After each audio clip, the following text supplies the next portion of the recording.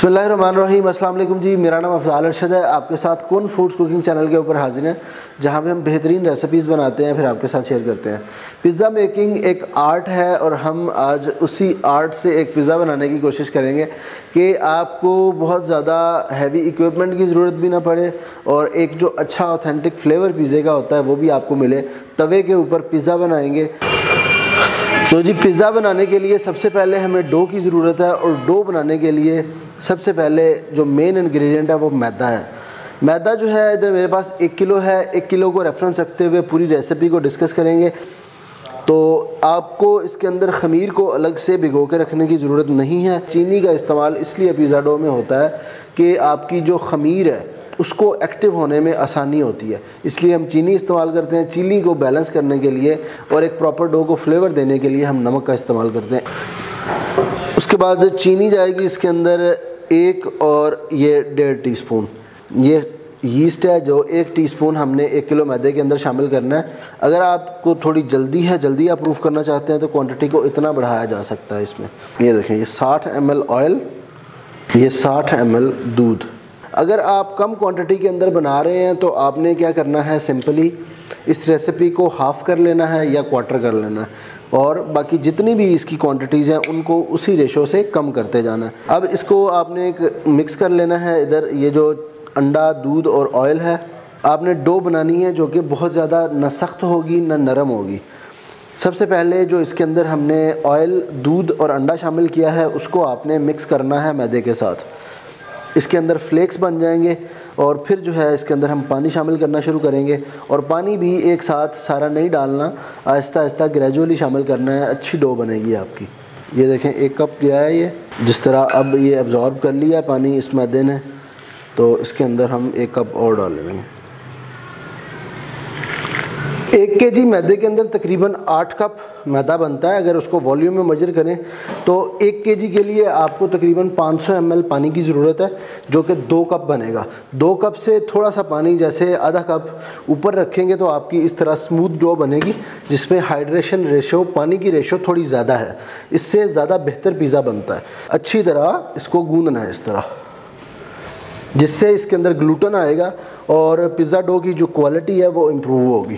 तो इसके ऊपर आपने थोड़ा सा ऑयल दो एक टेबल स्पून ये डाल के इसको थोड़ा सा आपने इस तरह गूंद लेना रख के इसको कोई रैप लगा दें इसके ऊपर या गीले कपड़े से ढक दें और कम अज़ कम आपने एक घंटे के लिए इसको थोड़ी हीट वाली जगह के ऊपर प्रूफ करना है। इसको फ्रिज में नहीं रखना।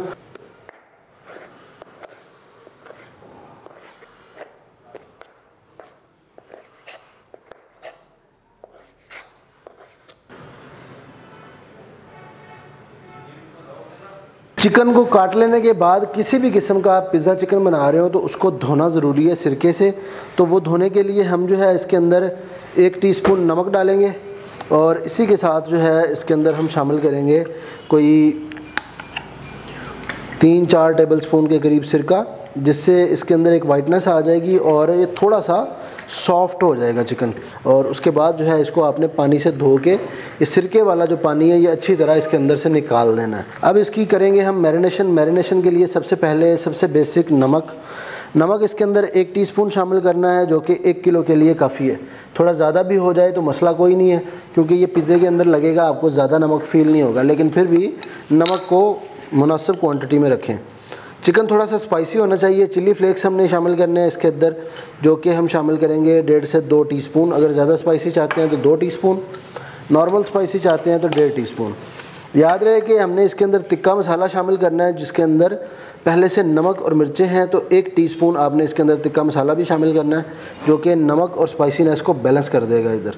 तिक्का मसाला ये बनाया हुआ है, मैंने पहले रेसिपी इसकी लिंक आपको डिस्क्रिप्शन या आई बटन में मिल जाएगा, अगर आप बनाना चाहें, वरना आप बाज़ार से ख़रीदा हुआ मसाला भी इस्तेमाल कर सकते हैं।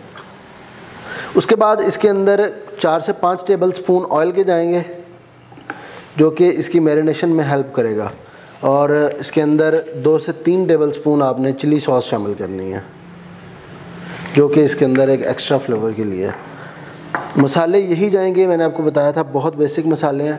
जो टिक्का का फ्लेवर है, वो हमें टिक्का मसाला से मिल जाएगा। एक डेढ़ घंटे की मैरिनेशन के बाद चिकन जो है हमारा वो तैयार है कि उसको कुक कर लिया जाए। तो इसको जो है ये देखें, ये चिकन इसको जो है हमने एक पैन के अंदर डाल लेना है।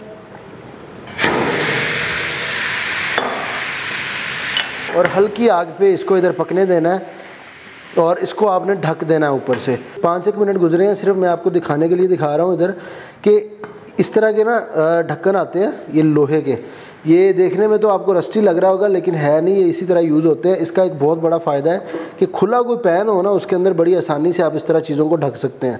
जिस तरह कोई बीफ बर्गर की पैटी पका रहे हो, कोई चिकन पका रहे हो तो स्टेनलेस स्टील में मुझे तो नहीं मिला, लेकिन अगर आपको मिले तो आप ले सकते हैं, ये बेहतरीन चीज़ है। उसके बाद ये चिकन देखें, अब इसके अंदर ढक के पक रहा था तो इसने इस तरह पानी छोड़ दिया जो कि ये खुले के अंदर कभी भी ये पानी इस तरह नहीं छोड़ेगा, और ये देखें, ये ऊपर से नीचे तक इसी तरह बिल्कुल ज़बरदस्त जो है वो चिकन पक रहा है।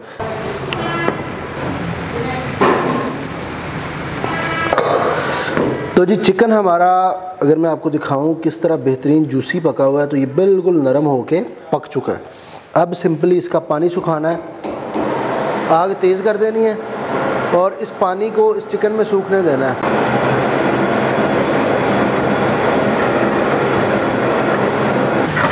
तो ये देखें जी, चिकन का पानी सूख चुका है। अब इसको हमने बस ठंडा करना है। मैंने इसका फ्लेम कर दिया हुआ बंद।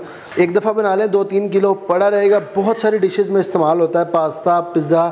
उसके बाद लजानिया मतलब इसको थोड़ा मैश कर लें आप तो शॉर्मे के अंदर भी इस्तेमाल होता है। डो को मैंने जो है इस प्लास्टिक बैग में डाल के रख दिया था, इसको प्रूफ होने में आसानी होती है। तो अब ये साइज़ में आलमोस्ट डबल हो चुकी है डो तो इससे हम पिज़्ज़ा बनाएँगे। पिज़्ज़े का जो साइज़ हम बना रहे हैं, वो मीडियम है तो आपको एक मीडियम पिज़्ज़े का पैन चाहिए, जो कि डेढ़, दो सौ, तीन सौ में मैक्सिमम आपको मिल जाएगा। तो ये देखें, ये मेरे पास पैन है। मैं आपको बता देता हूँ कि कितने साइज़ का पिज़्ज़ा कितने इंच के लिए कितनी डो इस्तेमाल होगी। ये जो मीडियम का पैन है, ये दस इंच है, दस इंच भी होता है, ग्यारह इंच भी होता है। नॉर्मली दस इंच इस्तेमाल होता है। दस इंच के अंदर आपको 270 से 280 ग्राम डो चाहिए इसका पेड़ा बना के इसके अंदर पिज़्ज़े की बेस बनाने के लिए।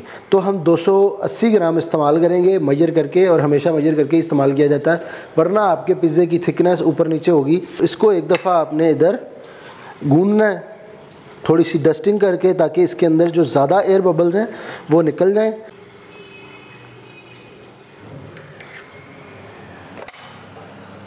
बाकी की डो इसी तरह किसी शॉपर में डाल के आपने रख देनी है। इस तरह। और इसको जो है, अब फ्रिज में आप रख सकते हैं। ये दो से तीन दिन इस्तेमाल हो जाती है डो। इस तरह आपने पेड़ा बनाना है, इसका अच्छा सा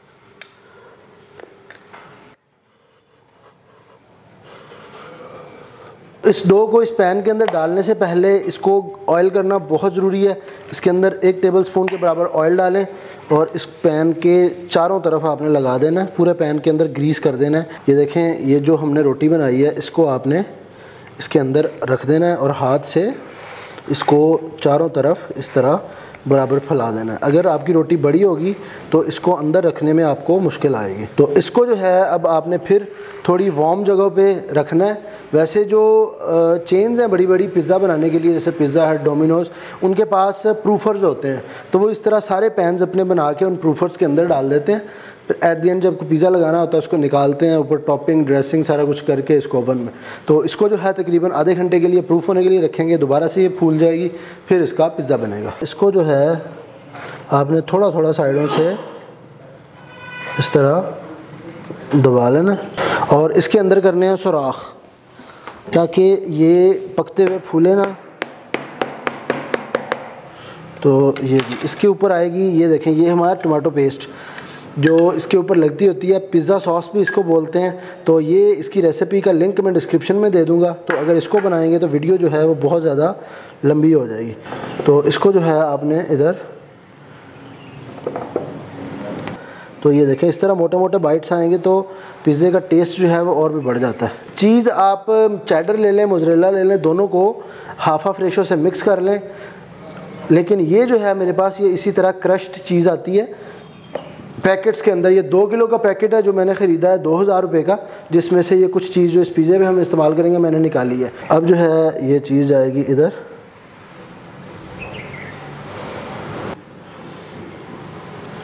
और एक आपने काम करना है कि किनारों के ऊपर से इसको हटा देना है, वरना ये मेल्ट होके पैन के साथ जाके चिपक के जलती है। फिर जले की स्मेल भी आएगी और पिज़्ज़ा थोड़ा सा बुरा भी लगता है। टमाटर शिमला मिर्च और मशरूम। मैं इसके ऊपर सिर्फ़ टमाटर और शिमला मिर्च का इस्तेमाल करूँगा। टिक्का जो पिज़्ज़ा होता है, उसके ऊपर आपको ज़्यादातर सिर्फ़ टमाटर देखने को मिलते हैं। लेकिन टॉपिंग डिपेंड करता है आप पे। आप मशरूम लगाना चाहें, स्वीट कॉर्न लगाना चाहें, ऑलिव्स लगाना चाहें, लेकिन मैं बिल्कुल सिंपल टॉपिंग रखूँगा। टमाटर जो है, वो इस तरह लंबी कटी हुई है।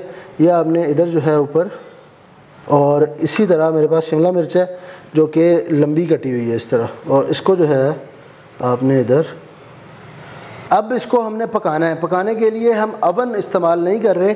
हमने तवे का इस्तेमाल करना है। अगर आपने मेरी नान वाली वीडियो देखी है, उसके अंदर हम डबल तवे वाला एक सेटअप इस्तेमाल कर रहे हैं, जिस तरह ये मेरे पास एक कढ़ाई है।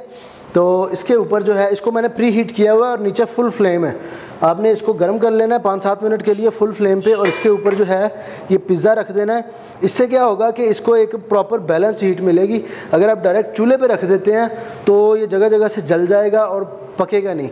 और हीट आपकी तेज़ होनी चाहिए। इसको आपने ऊपर से ढक देना ताकि नीचे से हीट जो आ रही है वो ऊपर निकले ना और इसके अंदर ऊपर से चीज़ भी मेल्ट हो जाए। पिज़्ज़े को इधर पकते हुए कोई दो चार मिनट हुए हैं और नीचे से ये बड़ा अच्छा पक रहा है, लेकिन इसको ऊपर से पकाने के लिए हमें ऊपर से भी हीट देने की ज़रूरत है, जहाँ पर दूसरा तवा काम आएगा। इधर देखें तो इस तवे को आपने गर्म करना है अच्छी तरह प्री हीट करना है ताकि इसको जब हम पैन के ऊपर रखें तो आग जल रही है। तो इसको अच्छी तरह दहका लेना है आपने। दहकाने के बाद जब नीचे से इसका क्रस्ट पक चुका होगा, हम इसको ऊपर रखेंगे तवे को और ऊपर से हमारी चीज़ भी मेल्ट हो जाएगी और अच्छी तरह पक भी जाएगी। बस इसको दो चार मिनट, चार तीन चार मिनट और हमने पकाना है और एक चीज़ और याद रखें कि ये पूरा कुकिंग प्रोसेस सात से आठ मिनट से ऊपर नहीं जाना चाहिए, वरना पिज़्ज़ा जो है वो उसका मॉइस्चर सारा ख़त्म हो जाएगा और वो सख्त हो जाएगा। ये देखें नीचे से हमारा जो क्रस्ट है, वो बेहतरीन हो चुका है। तवे को जो है, इधर रख देना है, उल्टा करके इसके ऊपर।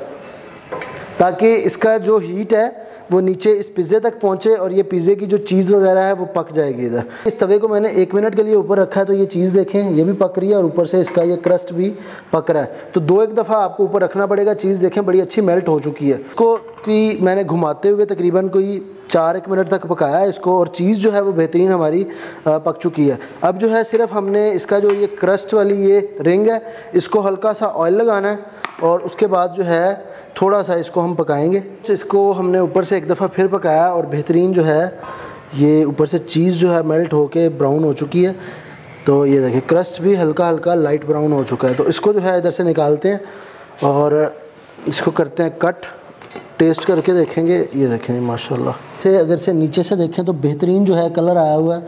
क्रस्ट बेहतरीन, नीचे से क्रिस्पी और ऊपर से इधर से सॉफ्ट। ये देखें, माशाल्लाह, चीज़ बेहतरीन जो है वो पकी हुई है। तो पिज़्ज़ा कटर हो, उससे काटें आप। ज़्यादा बेहतर तरीके से कट जाएगा। मेरे पास छुरी है इस टाइम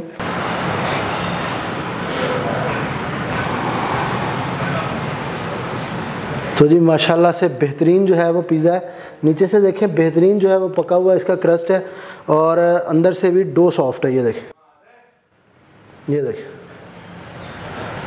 माशाल्लाह बेहतरीन। तो इसको जो है थोड़ा सा करते हैं टेस्ट। मुँह में पानी आ रहा है वैसे ही और रहीम तो माशाल्लाह जी, बेहतरीन जायका मिल रहा है मुझे और इसकी लेयर्स तो आपने देखी हैं। तो इस रेसिपी को ज़रूर ट्राई करें, इंशाल्लाह मज़ा आएगा। आपको बड़ी आसानी से पकाया जा सकता है घर में। कुछ लोग जो है, हम नीचे से तो पका लेते हैं, लेकिन ऊपर से चीज़ नहीं पकती, इस तरह मेल्ट नहीं होती। तो इन आपके साथ इस तरह की और रेसिपीज़ लेके हाजिर होते रहेंगे। तब तक अपना बहुत सारा ख्याल रखें। अल्लाह हाफ़